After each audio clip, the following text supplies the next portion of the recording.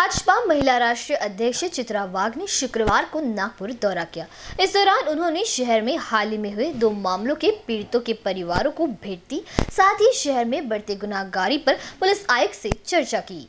Bharatiya Janata party की महिला राष्ट्रीय अध्यक्ष चित्रा वाघ का शुक्रवार को नागपुर आगमन हुआ। इस दौरान उन्होंने शहर में हाल ही में हुई गैंगरेप पीड़िता, साथ ही पुलिस मारपीट से अपमानित होकर आत्महत्या के व्यक्ति के परिवार को भेंट दी। साथ ही इन मामलों को लेकर शहर के पुलिस कमिश्नर अमितेश कुमार से मुलाकात की। चित्रा वाघ इन्होंने दौरे के बारे में पत्रकारों से चर्चा करते हुए कहा कि आए दिन नागपुर शहर में वारदातों का सिलसिला बढ़ता ही जा रहा है। आज नागपूरमध्ये आली आहे दोन तीन फार महत्त्वाच्या घटना किंबहुना गेल्या काही दिवसांपासनं नागपूरमधला जो क्राईम रेट आहे तो कशा पद्धतीने वाढता आपल्याला सगळ्यांना पाहायला मिळतो आहे आणि तो अतिशय चिंतेचा विषय आहे. यातले आजचे दोन विषय जे आहेत ते नागपूरमधले आहेत. पहिला विषय जो आहे तो म्हणजे एका अल्पवयीन मुलीवरती एका अल्पवयीन मुलीवरती एकाच रात्री दोनदा सामूहिक बलात्कार होतो. आणि ही घटना आपल्या सगळ्यांसाठी अतिशय शर्मेची आहे. महाराष्ट्रासाठी अतिशय शर्मेची आहे. मुलीचं वय अवघं सोळा वर्ष आहे. ही घटना घडली त्या संदर्भामध्ये आजच्या ज्या काही घटना घडल्या आहेत ज्या दोन घटना नागपूरच्या आहेत विशेषतः तीन घटना त्या घटनासंदर्भात मी आणि माझे सगळे भारतीय जनता पार्टीचे सहकारी आम्ही नागपूरचे सन्माननीय जे पोलीस आयुक्त आहेत त्यांचीही या संदर्भामध्ये भेट घेतलेली आहे.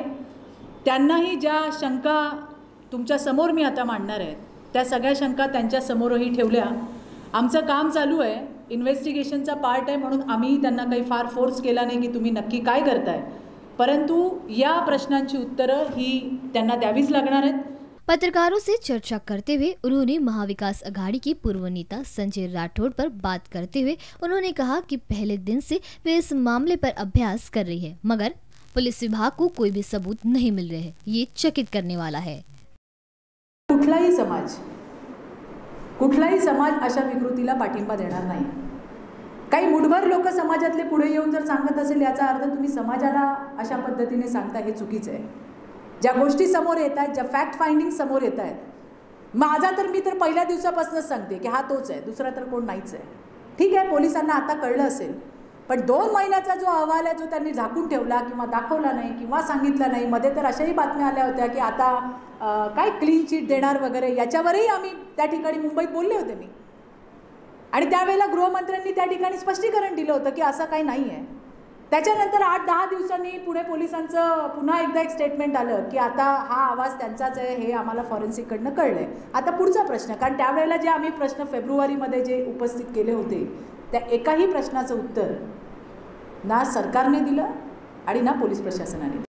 कैमरा पर्सन राजकुमार मोहर के साथ अभिषेक पानसे बी न्यूज नागपुर.